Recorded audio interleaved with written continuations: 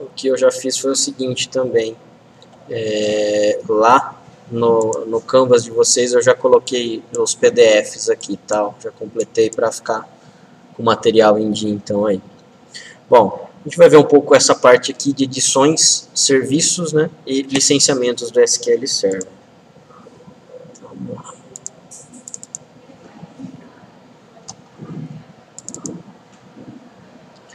O GSQL está bem caro por sinal, viu? Não é um servidor barato. Aliás, é mais caro, se não me engano, da Microsoft. É mais caro do que até o Windows mesmo. Bom, a edição do SQL, basicamente nessas versões 2016, 17, 19, né? Hoje a gente tem a Enterprise e a Standard comercialmente são as duas mais fortes aí. Existem as outras, a Web, né? Mas a gente não vai entrar nesses detalhes aí. Quando a gente fala de é, edição Enterprise, é, é onde realmente as corporações utilizam, né? Em todo o seu Uh, todos os departamentos já têm o que? Uh, opções aí de, de, do SQL bem mais avançadas, né? Então a Enterprise, ela tem muito recurso, vamos dizer assim. Uma das partes hoje que eu, pelo menos, sinto muita falta é quando você tem que reconstruir um índice online, tá? Isso, a versão standard, que é o que eu utilizo hoje, não tem certo? Você tem que parar todo mundo, sai todo mundo da sua base e depois vai lá e faz a reindexação dos seus, dos seus índices. O, o que, que é reindexar um índice, né? É, um índice, na verdade, ele é um apontador, né? Ordenado de algum, algum dado. Né? Então, por exemplo, eu tenho um índice lá de nome de pessoas, o meu nome dos, dos clientes. Por que, que eu crio um índice? Justamente para quê? Porque é, a, a, a, eu tenho muita consulta em cima daquele determinado dado. Às vezes esse índice corrompe, que a gente fala. Se, se ele corrompeu, o SQL ele não consegue mais é, achar o seu dado de forma rápida. Né? Então, é, hoje, com a versão standard, que é o que é mais vendida, né, você tem que parar o SQL, todo mundo sai da base e você reindexa para todo mundo voltar. Na versão Enterprise ele consegue fazer isso daí online. Está todo mundo conectado, mesmo ruim lá o pessoal consultando, ele consegue dar um jeito de pegar e indexar. Tá? E tem outras coisas aí bastante bem, é, bem avançadas. Na parte, é, na parte de tabelas, era uma coisa que o Enterprise tinha, mas agora, se não me engano, o Standard nas últimas versões tem também. É, eu consigo colocar, por exemplo, uma única tabela, né, em mais de um arquivo físico da minha, no meu Windows. Então isso daí é o que a gente chama de partição né, de, de dados aí. Né, uma das partes que a gente tem de avançado, que agora acredito eu que o Enterprise tenha ganhado um pouco mais de força. Tá? A parte web, o Enterprise hoje está bastante é, avançado nessa parte de sincronização, principalmente com SQL Azure tá? coisa que o standard é, tem limitação também. Tá? Obviamente, a diferença é o preço. Então, vai depender muito da sua aplicação, da sua empresa ver se ela precisa ou não de uma versão Enterprise. Na maioria dos casos, é vendido o que? A standard mesmo. Para pequenas e médias empresas né, que precisam dos recursos, que não precisam de todos os recursos igual a Enterprise possui. Uh, a standard, apesar de ela sim, é, ser mais barata, obviamente atende bem, tá? Então, se eu tenho uma empresa aí com 100, 200, 500 usuários, tranquilo, ela não vai me deixar faltar nada de recursos tão importantes assim. Quando eu quero realmente avançado, aí não tenho o que fazer. Uh, existe uma versão que a gente chama de Express, que é o que vocês também já faz, fizeram essa parte de instalação aí, né? A Express você na verdade tem uma é uma versão gratuita da Microsoft, porém mais limitada. A Microsoft então ela limita a utilização de recurso de memória e recurso de disco. Então cada banco é limitado, se não me engano, a 10 GB. Tudo bem que 10 GB é banco é coisa pra caramba, para quem está começando, tal, uma empresa nova, né? Mas depois disso, obviamente, você precisa passar essa versão para uma versão é, no mínimo standard, né? Para se fazer essa conversão, na verdade, é, não existe nem conversão. É um, é um backup restore que você faz de uma versão para outra e acabou. Ou um deteste a teste que a gente chama, igual a gente fez nos nossos arquivos, tá? Então, ele é 100% compatível uma edição com a outra. Isso daí é pelo menos a Enterprise com a Standard, tá? Uh, uma coisa na Standard que eu utilizo bastante também é a parte do que? É a parte de agendamento de tarefas pelo próprio SQL Server e envio de e-mail. Então, sempre você já vai agendando coisas para o SQL Server processar. No Express é uma coisa que você já não tem. Tá? Então, se eu quero backups automáticos, por exemplo, no SQL Express você não consegue fazer isso. Tá? Tudo bem que é uma forma barata de você pegar e conseguir, na verdade, reduzir custo da sua empresa. Mas muita coisa de automação você vai estar bem limitado se, vai, se você vai utilizar ela. Tá?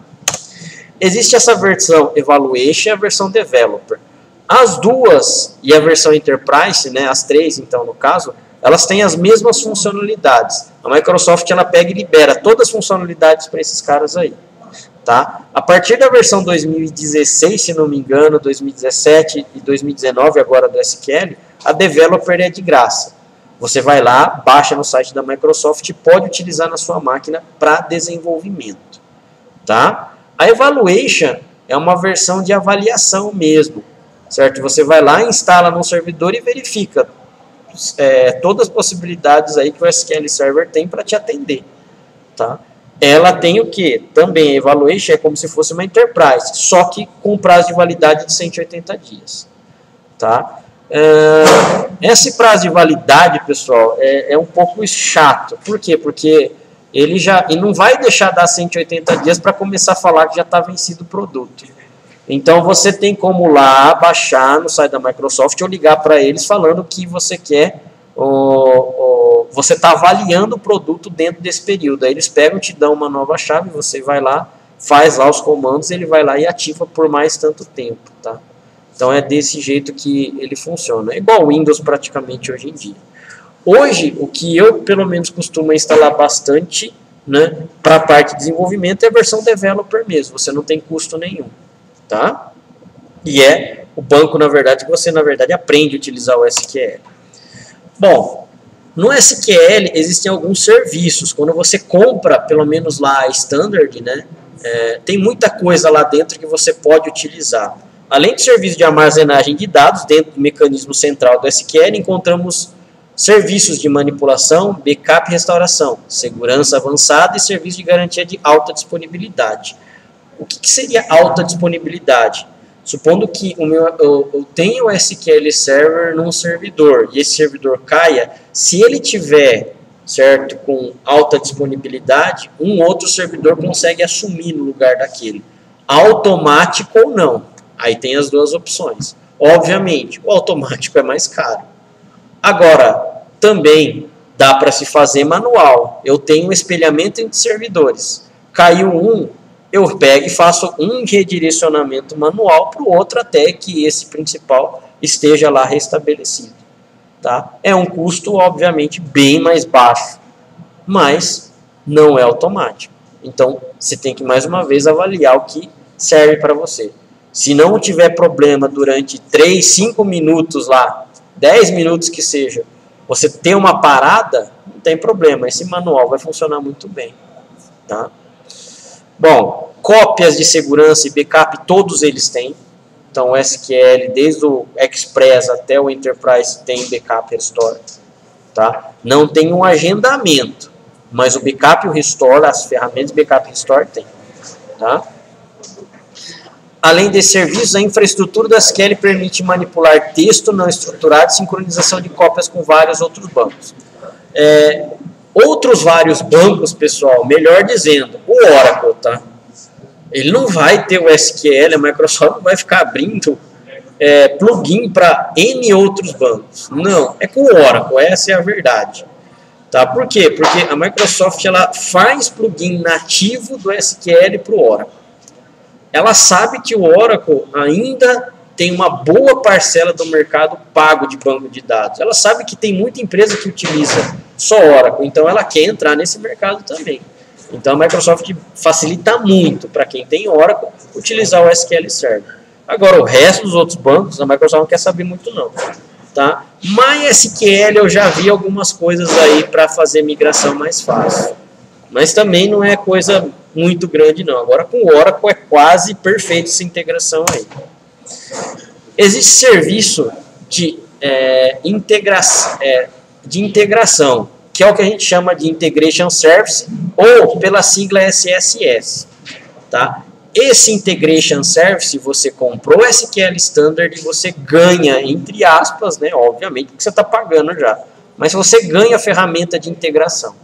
Supondo que eu tenha duas bases de dados, três bases de dados, três servidores SQL dentro da sua empresa, e você precisa fazer o quê?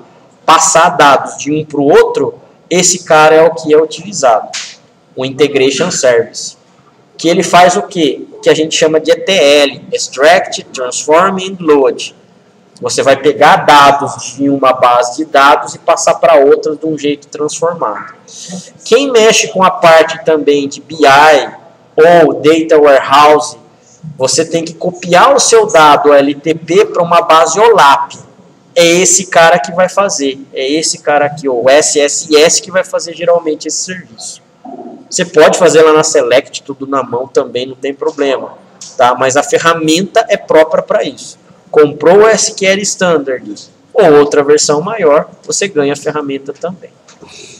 Além disso, né, o SSS, SSS tem tarefas para se fazer o upload e download de arquivos de site, manipular relatórios, diretórios, importar e exportar arquivos de bancos, interagir com web, com web service e responder eventos eh, WMI do Windows, tá?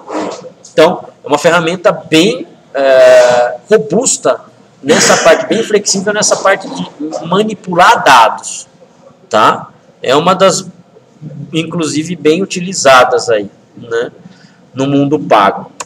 Bom, mais uma vez, ainda quando você compra o SQL Server, você tem um cara que se chama Reporting Service. O Reporting Service, ele é um serviço web geralmente. Você vai lá e faz a publicação para um IIS para que outras pessoas consigam começar a enxergar os relatórios que você faz. Tá? Esses relatórios não é igual um relatório de RP que a gente costuma pegar e ter lá um, um, é, um relatório estático. Não, você consegue fazer é, detalhes no relatório. Vocês viram aqui, vocês já viram aqueles componentes de, de, de, de grid? Quando você aperta um mais, ele vai lá e expande uma outra grid.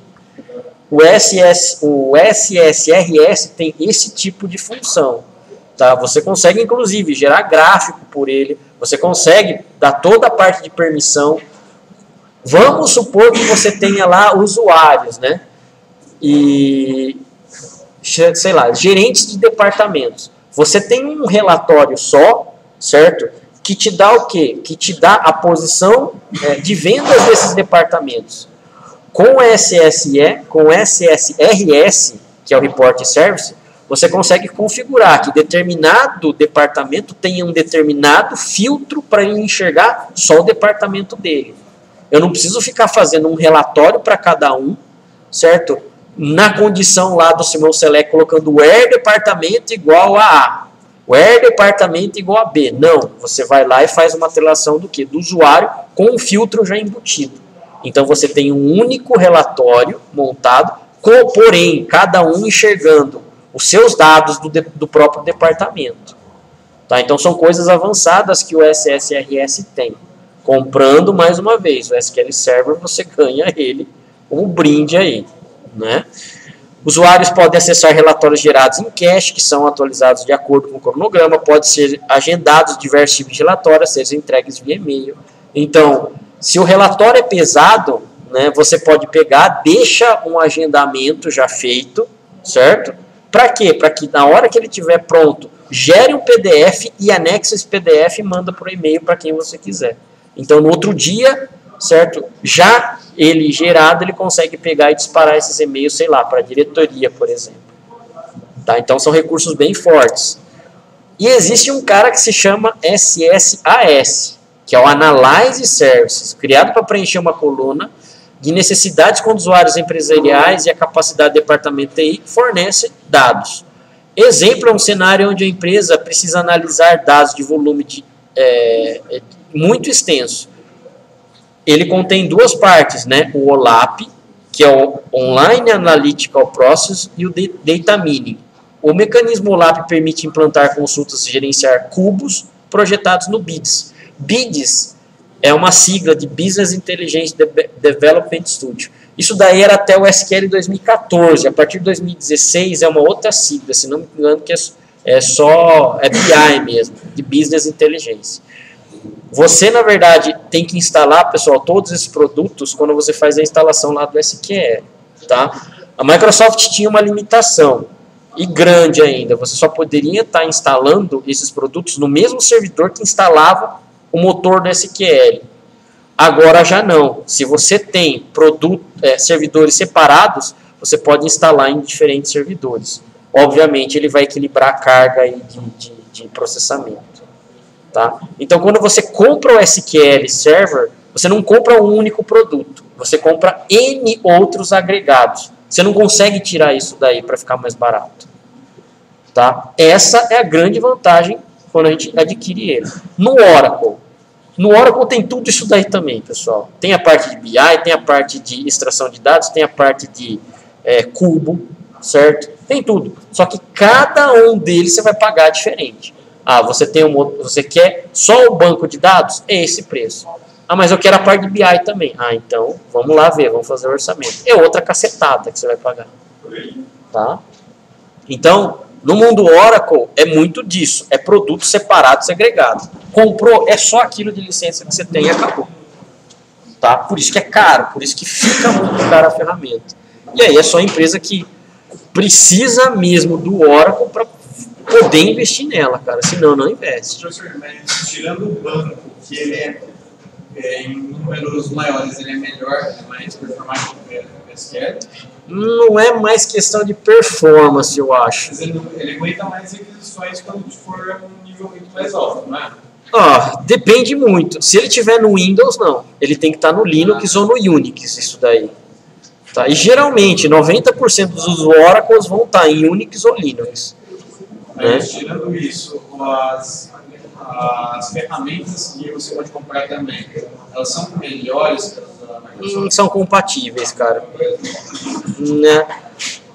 É, é difícil você falar melhor. Eu só conheço uma ferramenta só do Oracle para fazer comparação. Eu não sei a das outras assim, que é a parte de gerador de relatórios deles. Assim, o Oracle, a Oracle em si é, é uma empresa excelente. Você não tem que falar dela, né? Ela cobra realmente o que vale o produto. Eu acredito muito nisso, né? Tem coisa que no SQL, pô, ele não consegue fazer que o Oracle é demais, cara. É, essa parte, por exemplo, de ficar é, dando update, é, restaurando um banco paralelo para ficar dando update, cara, no Oracle isso não existe. Você na própria base de dados consegue forçar tá, a volta de um update naquela tabela só. Você não restaura a base inteira. Tá? Você deu um truncate, por exemplo, em uma tabela do Oracle, cara, você consegue voltar esse truncate. No SQL Server jamais você vai conseguir fazer isso.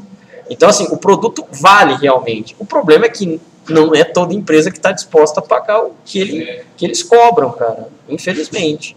Né? Mas vale. Eu acredito que, assim, a Microsoft hoje, ela está muito profissional. A, a parte de integração entre produtos que ela tem é o que é mais forte. E não adianta falar que não é, cara. Se você tem um Windows Server, cara, o SQL Server já está lá, que é totalmente compatível com todas as ferramentas do Office, que é totalmente compatível com o .NET. Então, não tem o que falar da Microsoft. Tá? São coisas distintas. É, é mais difícil. Aprender Oracle não é uma coisa fácil. Só que o seguinte também, né? Quando você realmente sabe a parte do Oracle, é, você estudou para aquilo. No SQL, a visão é um pouco diferente. Mesmo não sabendo muito, você vai lá dando next, next, next, finish, você consegue instalar ele. No Oracle não, não existe esse negócio de next, next, next, finish. Cara, você tem que criar uma table space já na instalação. Se você não souber criar isso, você não instala. Então, é um cara que precisa de mais conhecimento. Isso daí é fato. Né? Mas a Microsoft, obviamente, né? É, tem os dois lados. O bom e o ruim. O bom é mais popular. O ruim, né? Se todo mundo só fazer next, next, finish, cara, o produto não está bem instalado, infelizmente, né? A parte de licenciamento, por que, que é importante? Toda vez que vocês forem fazer um projeto, isso daí influencia muito, muito. E obviamente, né? Projeto hoje de TI, cara, não tem como não envolver banco de dados, é muito difícil. Ou vocês vão ter que ir para um banco de dados free, ou vocês vão ter que ir para um banco de dados comercial. O grande problema do free é a parte de ferramenta ainda. Tudo bem, podem ser muitos bons repositórios de dados. O Postgre é bom, o MySQL é bom. Agora, boas ferramentas para eles é o que a gente não encontra. Tá? Isso é mais difícil. Então, tem que tomar um pouco de cuidado na hora que for escolher. No caso da Microsoft, para o SQL Server, a gente tem duas modalidades. Né? Ou você licencia por call de acesso. O que, que é o call de acesso? Para cada cliente que for acessar o servidor, você tem que ir lá e comprar uma licença. Ou você licencia por núcleo de processador. Certo? Então, eu tenho a minha máquina Windows, e a minha máquina Windows consome dois núcleos, quatro núcleos. Né? Então eu licencio pelo núcleo do processador. Legal. Qual que é a diferença? Bom, vai depender da quantidade de usuários que você for colocar dentro da sua base. Se você licenciar ele por núcleo, é o quanto a sua máquina suportar de usuários. Mil, dois mil, cinco mil usuários, se você tiver máquina para isso, legal. Você não paga mais nada, certo? Para isso.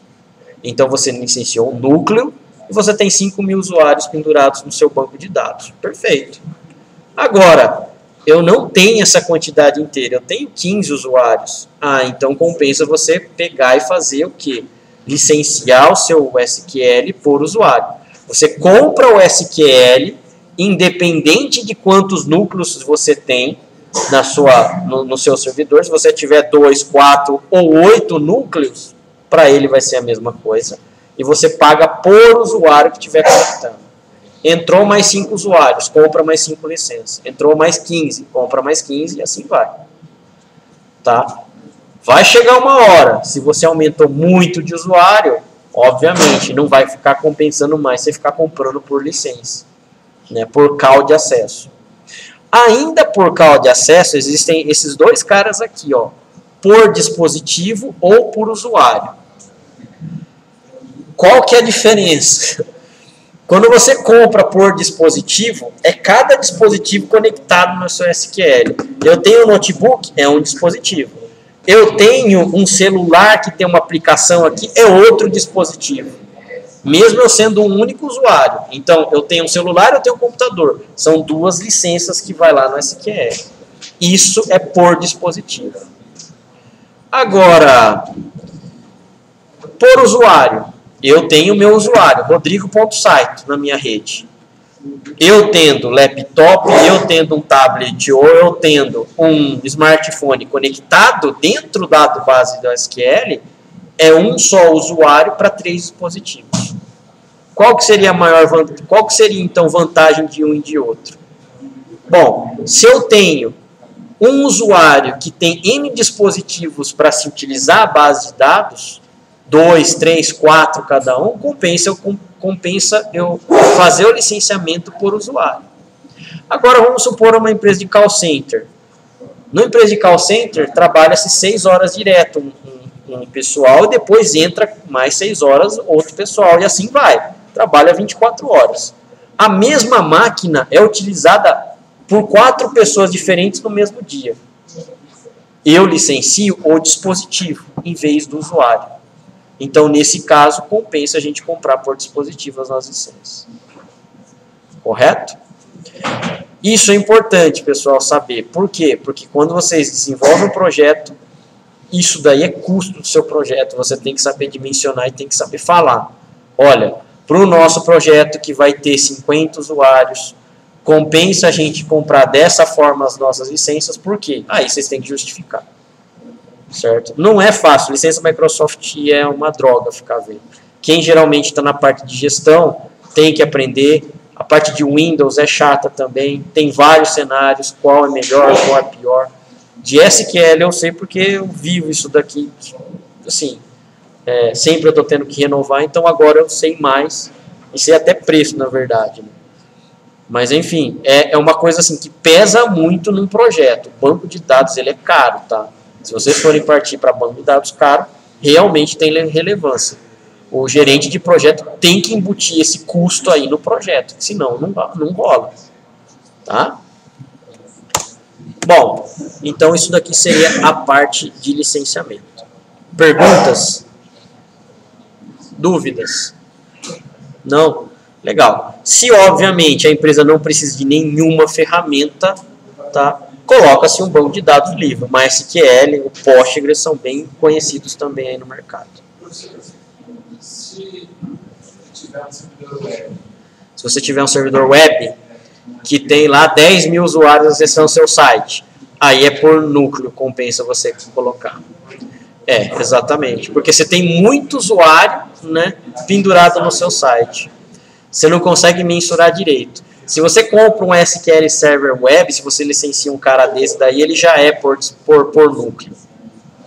Tá? Geralmente esse serviço hoje, na, na verdade, a Microsoft está prestando. Né? Ah, já fica tudo no Azure para você pegar e só publicar lá e os usuários começarem a conectar por lá. Você não fica mais hoje com um servidor de, de, de web dentro da sua empresa. Já não compensa mais, cara. É a mesma coisa que o Exchange certo? São poucas empresas hoje que têm o Exchange dentro da empresa, cara. É muita dor de cabeça. Tá? Compensa já pegar para o serviço da Microsoft. Você paga lá 10 reais, 15 reais por mês por usuário e acabou. Tá? Mas é, é interessante. Dá, além da Microsoft, pessoal, vocês podem, por exemplo, colocar em outro lugar o servidor. Tá? É, hoje, essa parte de virtualização é, evoluiu bastante, mas bastante mesmo. Você consegue pegar uma máquina virtual hoje da sua empresa e pegar ela inteira e jogar para a nuvem. Tá? Isso é possível. Se você já tem um ambiente totalmente pronto dentro da sua empresa e não quer manter mais maquinário dentro dela, você pega a máquina inteira virtual e joga na nuvem. Obviamente, fazendo dessa forma, as licenças são suas, tá? Então não tem muito o que fazer. Então você tem que licenciar o SQL, você tem que licenciar o Windows, você tem que licenciar é, os plugins que você está utilizando lá para sua aplicação rodar. Tá? Mas hoje é bem interessante isso daí. Você começa a pagar o serviço, na verdade. Né? Beleza? Perguntas aí mais? Tranquilos? Legal.